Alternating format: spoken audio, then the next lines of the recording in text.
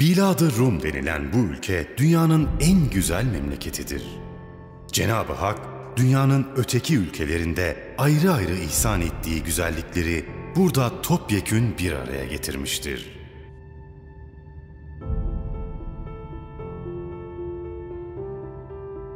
Tarihin en büyük seyyahlarından biri olan İbni Batuta, gezdiği o uçsuz bucaksız ülkeler arasında Anadolu'yu bu sözlerle anlatır.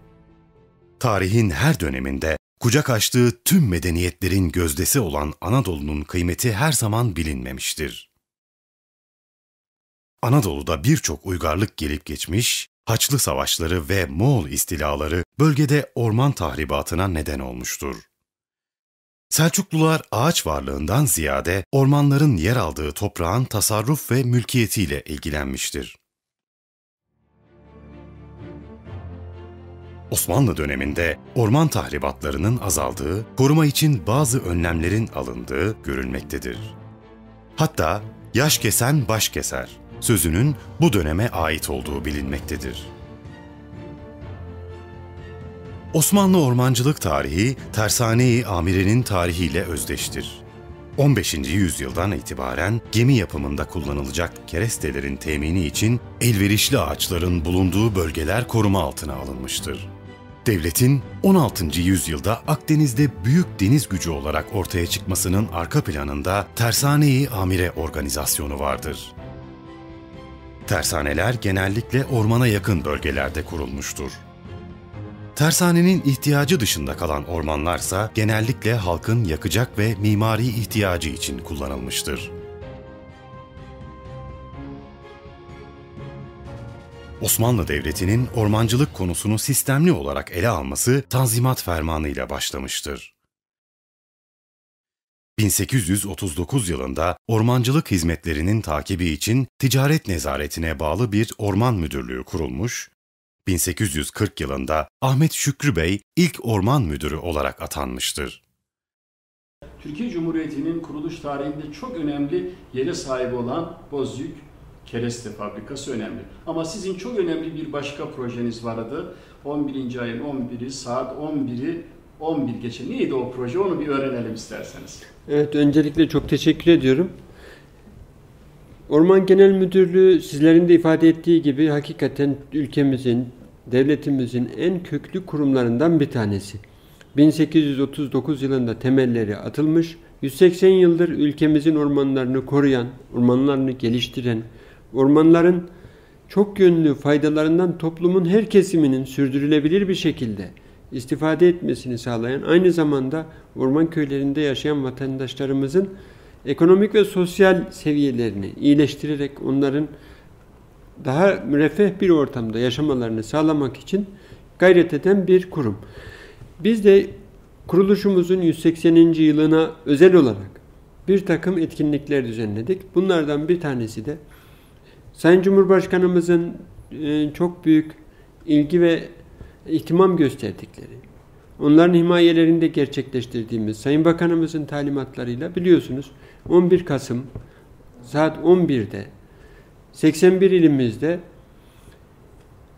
2023 noktada hedeflediğimiz 11 milyon fidan dikim etkinliğini halkımızın çok büyük teveccüh göstermesiyle birlikte yaklaşık 3700 ayrı noktada yine 81 ilimizde ve yaklaşık 14 milyon fidanı toprakla buluşturarak çok ciddi bir aslında farkındalık oluşturduk. Bu zamana kadar özellikle son 15-16 yılda gerçekleştirdiğimiz ağaçlandırma hamlesine adeta çok güzel bir altın bir virgül koymuş olduk. Çünkü biz son 15 yılda 4,5 milyar fidanı toprakla buluşturduk. Ve bu sayede dünyada orman varlığını artıran üçüncü ülke konumuna yükseldik. Bu program şu açıdan çok önemliydi. Biz yaptığımız çalışmaların toplumumuz tarafından, insanımız tarafından sahiplenilmesini arzu etmiştik. Ve hakikaten çok ciddi bir e, sahiplenme meydana geldi ve Geleceğe Nefes adını verdiğimiz bu kampanyamıza dün itibariyle bir e, internet arama motoru Türkiye'de en çok aranan, yıl içerisinde en çok aranan ikinci e, slogan, ikinci kelime olduğunu tespit etti. Bu hakikaten toplumumuzun bu konuya gösterdiği önemi bize gösteriyor. Bundan dolayı da bütün kamuoyuna, 7'den 70'e, bütün vatandaşlarımıza hakikaten gönül dolusu şükranlarımı arz ediyorum. Biz de o heyecanı yaşadık ve Kocaeli'de yaşadık. Kocaeli bir sanayi kenti ama aslında tarih, kültür, medeniyet kenti ve en çok orman ve yeşilliği olan illerimizden de birisi. Orada o heyecanı Sayın evet. Valimiz, Sayın Bölge Müdür Yardımcısı, Büyükşehir Başkanımızla yaşadık. Gerçekten çok keyifliydi, çok mutluydu orada binlerce öğrenciyle beraber. Efendim ormanı sevgi korur. Ormana sahip çıkın. Orman varsa biz varız ve orman her şeyimiz. Ben de bir slogan e, meydana getirmeye çalıştım. Ormanlara sahip çıkmak her şeye sahip çıkmaktır. Neler söylersiniz? Evet, kesinlikle kesinlikle katılıyorum size. Çünkü ormanlar temiz havanın kaynağı. Ormanlar temiz suyun kaynağı. Ormanlar sağlıklı çevrenin olmazsa olmaz unsuru.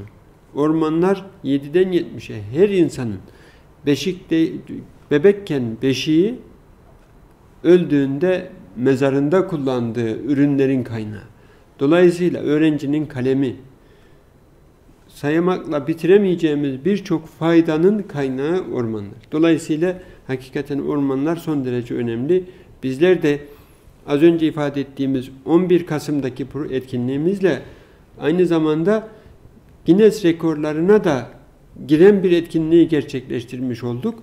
Biz evet ülke genelinde 14 milyon fidan diktik ama Guinness'in tek noktada en bir saat içerisinde en çok fidan dikme rekorunu da ülkemize kazandırmış olduk. Biliyorsunuz Çorum ilimizde bu faaliyeti gerçekleştirdik ve bir saat içerisinde 303 bin adet fidanı orada toprakla buluşturmuş olduk tek noktada. Yarınlar nefessiz kalmasın diye daha yeşil bir Türkiye için 11 milyon ağaç, bugün fidan, yarın nefes diyoruz. Dünya rekoruna koşuyoruz. 11 Kasım'da 81 ilde el ele, gönül gönüle. Haydi Türkiye, fidan dikmeye. Geleceğe nefes ol. Geleceğe nefes ol.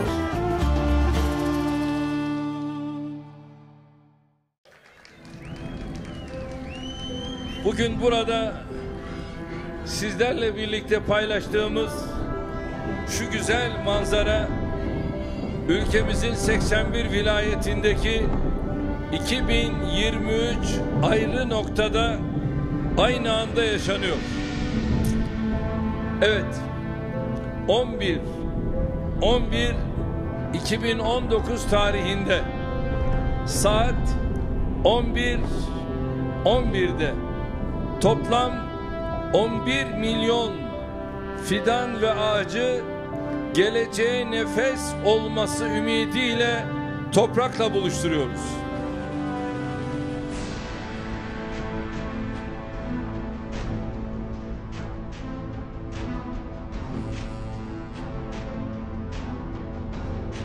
Bugün milletçe ve memleketçe dünyanın gündemini belirlediğimiz tarihi bir gündür.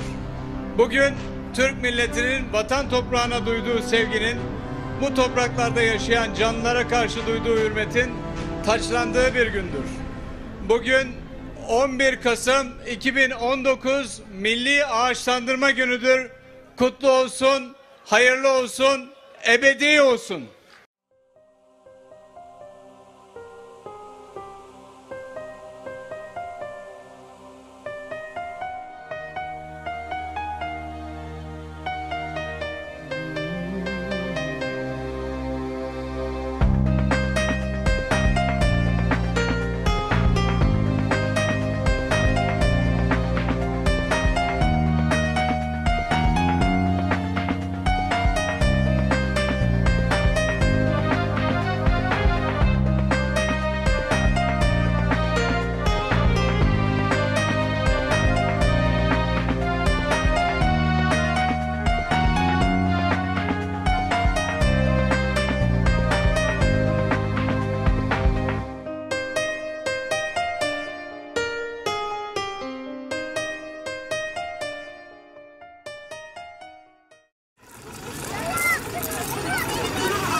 Geleceğe nefes vermek gerekiyor. Geleceğe nefes fidan dikerek verilir.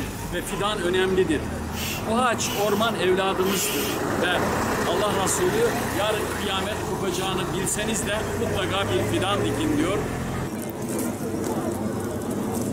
Evet, bir zamanlar burası yemyeşil idi. Maalesef yakıldı ve yıkıldı.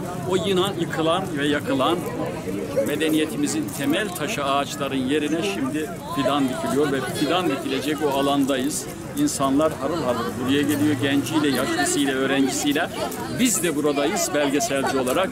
Bir zamanlar yemyeşil alanın bulunduğu yerde 11 milyon fidan dikme kampanyası için görüntüler tespit ediyoruz. Birlikte izliyoruz.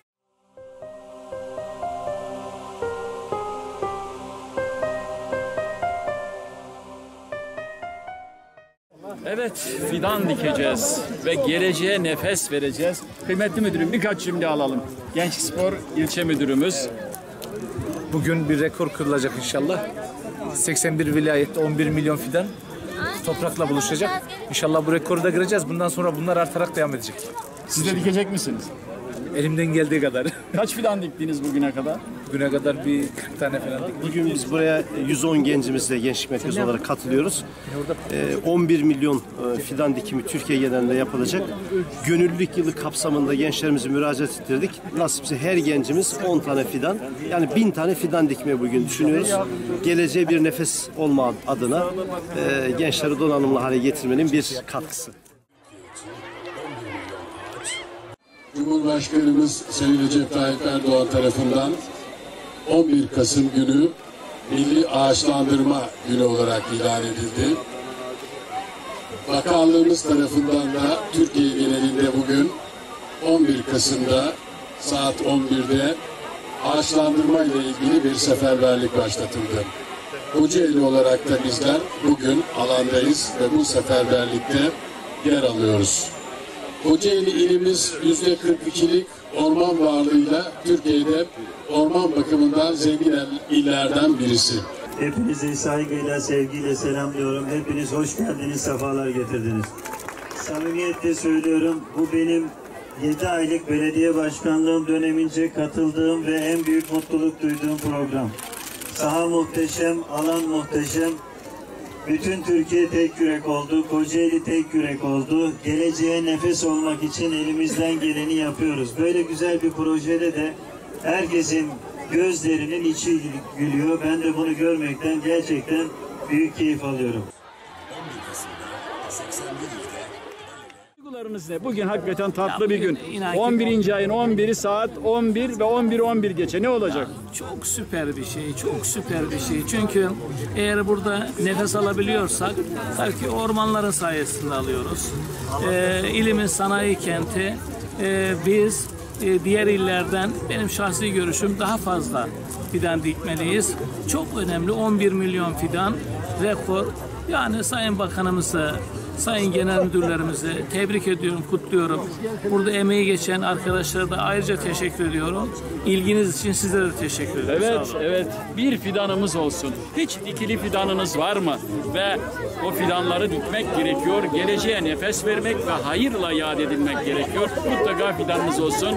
Bu tarihi kampanyayı kaçırmayın ve bir fidanınız da sizin olsun. diyoruz, Değil mi? 11 milyon fidan için. Aynen öyle. 11 milyon. Herkesin bir fidanı olsun.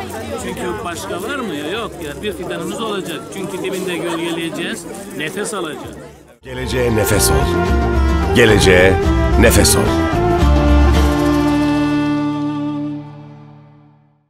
Ağaçla yok olur kederim yasım, ağaçla dolar gönül tasım. Bugün Türkiye genelinde 11 milyon fidan dikildi. Yaşasın gönüllerdeki 11 Kasım. Bir ağaç, bir nefes. Ey ağacın rüzgarı sen Gebze'ye doğru es. Buradan da İsmail Karaman aracılığıyla bütün Türkiye'ye veriyoruz. Gönülden güzel bir ses. Teşekkür ediyorum.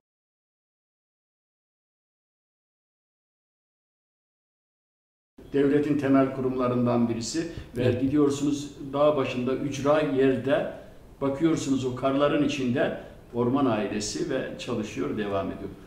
Orman Genel Müdürlüğümüzü bir kısaca tanıtmak istersiniz dersek neler söylersiniz?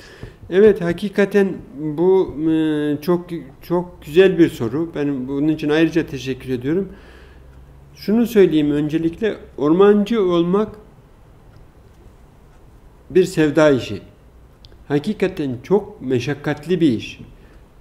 Kışın az önce ifade ettiğiniz gibi buzda, karda, soğukta çalışıyorsunuz. Çalışmak zorundasınız. Yazın közde çalışıyorsunuz. Canınızı tehlikeye atıyorsunuz. Daha az ağaç yansın, ağaçlar yanmasın, ormanlar yanmasın, insanımız zarar görmesin, yerleşim yerlerine gitmesin. Bir tane kaplumbağa zarar görmesin, yanmasın diye canınızı dişinize takarak çalışıyorsunuz. Mesai mefhumunuz yok. Ben e, başka meslekler için söylenir ama aslında en çok herhalde ormancılık mesleği için uyuyor o tabir. Ormancılık mesleği yılın 366 gününde çalıştırmayı, çalışmayı gerektirir. 365 günlük bir faaliyet değildir. Bir yıllık bir faaliyet değildir ormancılık çalışmaları. Ama bir o kadar da kutsal bir görevdir. Çünkü biz diktiğimiz her bir fidanı dikerken iki şeyi çok önemsiyoruz. Bir tanesi diyoruz ki, biliyoruz ki diktiğimiz o fidan şehitlerimizin bize canları pahasına, gazilerimizin kanları pahasına emanet ettikleri o kutsal vatan topraklarının yağmurla, selle, rüzgarla taşınmasını önleyecek. Yani biz atalarımızın mirasına sahip çıkıyoruz. Ve bizden sonra gelecek nesillerden ödünç aldığımızı düşündüğümüz bu tabiatı, bu çevreyi bizden sonraki nesillere daha güzel bir şekilde bırakabilmenin gayreti içerisindeyiz. Diğer bir yönüyle de biliyoruz ki diktiğimiz her bir fidan yaşadığı sürece onun gölgesinden, meyvelerinden istifade edilmesi o fidanı oraya dikenlerin veya dikilmesine sebep olanların amel defterine birer sevap olarak yazılacak. Yani bir sadakayı cari olarak görüyoruz. Bir ibadet aşkıyla çalışıyoruz. O yüzden e, bizim bugün için 35 bin çalışanı olan Orman Genel Müdürlüğü ülkemizin her bir karış toprağında bir ayak izi vardır, sorumluluğu vardır. Kaç personeliniz var efendim? Evet, 35 bin personelimiz var. İnşallah yakın zamanda 5 bin arkadaşımız daha kadromuza katılacak.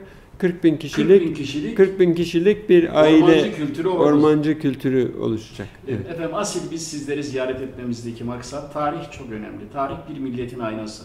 Ne kadar çok o aynaya bakarsak o kadar çok geleceğimizi görürüz diyor bir düşünür. Evet. Şimdi, tarihi olaylar, tarihi hadiseler, özellikle Kurtuluş Savaşı yılları ülke yanmış, yıkılmış, asker e, gençler cephelerde şehit olmuş, yaşlı kadınlardan müteşekkil, çocuklardan müteşekkil bir toplum. Deyim yerindeyse virane bir coğrafya ve o küllerinden, Osmanlı küllerinden yeni bir devlet kuruluyor. Kalkınması gerekiyor. Evet, evet düşman çıkartıldı ama en önemli savaş da ekonomik savaş. Biz yine Orman Teşkilatı'nı burada gördük. Türkiye Cumhuriyeti'nin ilk sanayi hamlelerinden, sanayi kuruluşlarından birisi Bozüyük Kereste Fabrikası. Evet. Onun tarihini araştırıyoruz. Evet. Değerli Bursa Bölge Müdürümüz sağ olsun öncülük ettiler, götürdüler. Evet. Değerli müdürüm, orası hakikaten önemli. Bozüyük Kereste Fabrikası. Neler söylersiniz bu noktada efendim? Evet, aslında e, gerçekten düşünüldüğü zaman e, biraz önce de konuştuk ya, ormanlar aslında her zaman çok önemli. Ancak özellikle kıtlık zamanında, yokluk zamanında, darlık zamanında ülkemizin zor günler geçirdiği o dönemlerde çok daha önemli hale gelmiş. Ve dünyanın birçok gelişmiş ülkesi aslında ormanlarındaki faydalanmayı minimumda tutmak ister. Çünkü dar zamanda kendi ormanlarından faydalanmayı ister. İşte baktığımız zaman Bozüyük'teki e, yaşanan o ifade ettiğiniz bir cumhuriyet kur, e, kurulalı henüz iki yıl olmuşken o günkü şartlarda kurulan o tesis az önce söylediğimiz şeyi aslında destekliyor. O dar zamanda ülkemizin ulaşım için demir yollarının yapılması gerektiği zamanda ürettiğimiz o gün için elimizde olan ürünlerin ambalajlanıp bir yerlere sevk edilmesi, satılması için gerekli olduğu zamanda ormanlar imdada, imdada yetişmiş. Ve o gün için henüz 1200 nüfusu olan Bozüyük'e 1600 kişinin istihdam edileceği bir tesis kazandırmış. Ve bunu kendi kaynaklarımız, kendi imkanlarımızla gerçekleştirmişiz. Hakikaten o günkü kıtlık ortamını, yokluk ortamını, savaştan yeni çıkmış, birçok şeye ihtiyacı olan bir ülkenin, ülke için adeta fidana ilk dikildiğinde verilen can suyu niteliğinde bir tesis olmuş. O yönüyle hakikaten son derece anlamlı, son derece hayati ve tarihe altın harflerle yazılması gereken bir tesis olmuş burada. Ormanlar memleketlerin, beldelerin sıhhat ve feyz kaynağıdır. Bozüyük Kereste Fabrikası Cumhuriyetimiz ilan edileli henüz iki yıl olmuşken ülkemizin o dar zamanında, yokluk zamanında ülkemizin ilk sanayi tesislerinden birisi olmuştur. Bu fabrika özellikle orada yaşayan insanlarımız olmak üzere ama genel itibariyle de ülkemizin ulaşım altyapısının oluşturulmasında, ilk sanayi kuruluşlarının altyapılarının oluşturulmasında ciddi katkıları olmuştur. Ormanlar bütün her zaman için son derece önemli ancak yokluk zamanlarında daha da önemli hale gelmektedir. Bizlere düşen şey bu ormanlarımızı koruyup, geliştirip bizden sonraki nesillere de sağlıklı bir şekilde devam ettirmek. Cumhuriyet ilan edildiğinde ülkemizin durumu içler acısıydı. Kurtuluş Savaşı kazanılmıştı ama insanların başını sokacak konutu yoktu.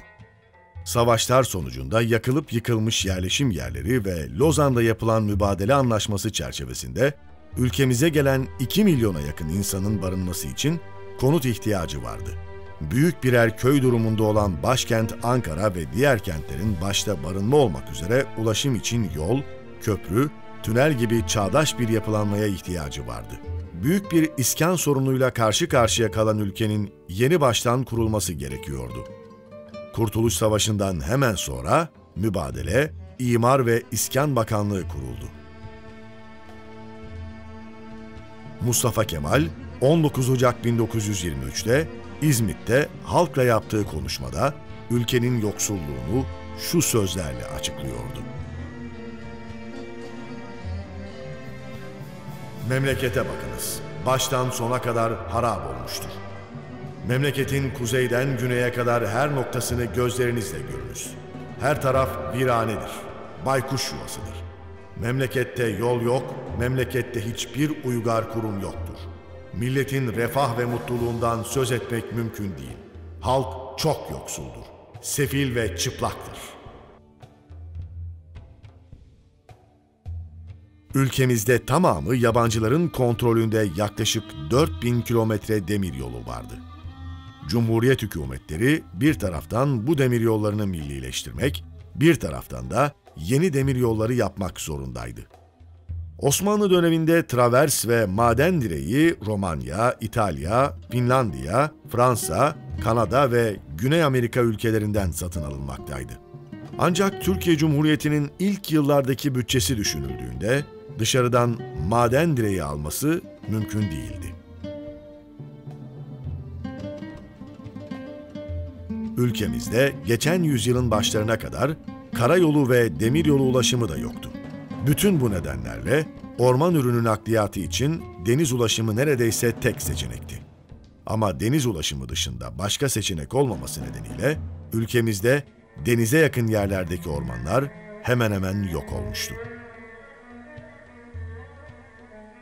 Cumhuriyet ilan edildiğinde en önemli ihraç ürünlerimiz üzüm ve incir için gerekli olan kutuluk kereste bile yurt dışından alınıyordu.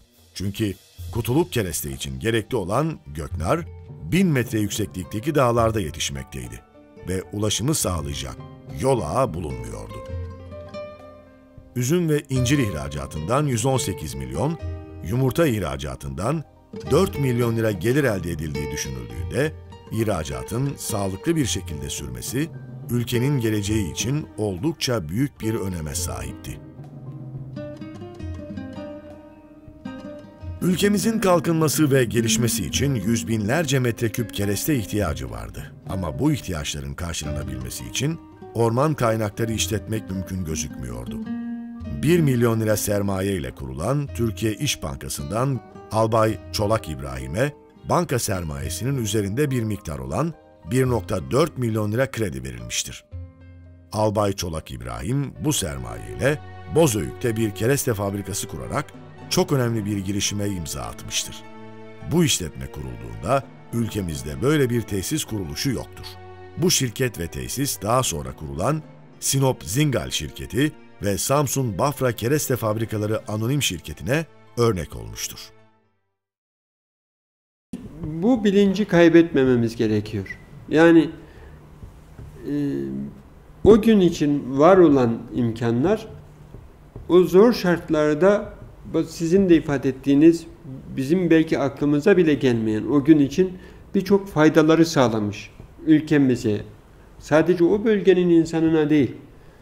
İşte kullanıldığı alanlara baktığınız zaman bütün ulaşım altyapısında orası ham madde üretmiş, ham madde temin etmiş. Bugün için erozyonla mücadelenin, çölleşmenin, iklim değişikliğinin e, her geçen gün daha tehlikelerini, tehditlerini hissettirdiği günümüzde ve gelecekte ormanların önemi daha da artacak. Bu yüzden bizlere düşen şey mevcut ormanlarımızın yapısını sağlıklı bir şekilde, sürdürülebilir bir şekilde korurken bir taraftan da Peygamber Efendimizin hadis-i şeriflerinde çok güzel ifade ettikleri gibi kıyamet kopuyor dahi olsa eğer imkanınız varsa elinizdeki fidanı dikin anlayışıyla. Sadece ormancıların değil, bütün vatandaşlarımızın bu fidan dikme, ağaçlandırma, dikilmiş olan ağaçlara sahip çıkma konusunda hassasiyetlerini ben istirham ediyorum. O zaman hep birlikte birer ormancı olalım. İnşallah. Herkes İnşallah. birer ormancı olsun çünkü ormanı sevgi korur ve yaş kesen, kesen baş keser diyor. Evet, evet, ve bir evet. fidan varsa kıyamet kopacağını bilseniz onu dikin diyor. Evet. Ve en güzel eser de fidan dikmek. Çok Kesinlikle. teşekkür ediyoruz. Ben teşekkür ediyorum. Sakarya Meydan Muharebesi.